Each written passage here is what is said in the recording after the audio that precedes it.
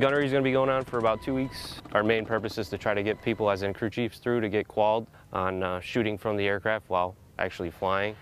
Gunnery was uh, something important for us to knock out because it is a requirement. So for us to be ready as a unit to mobilize at any moment, um, we needed to make sure we were qualled and that we were proficient. Um, yeah, so whenever we do fly, we do have a flight instructor that sits in the back with us to maintain the safety in the back because we do have live rounds, we're in a live range. They watch everything that you do. Um, they watch you load, unload, they watch you shoot, they watch, watch your rounds walk into the target to see if you can actually shoot from a moving platform. Here in Kuwait, we're on the CRTF mission. If we need to mobilize at any moment throughout the AO, we can load up and everybody's aware of what we're doing and knows what, what everybody's job is.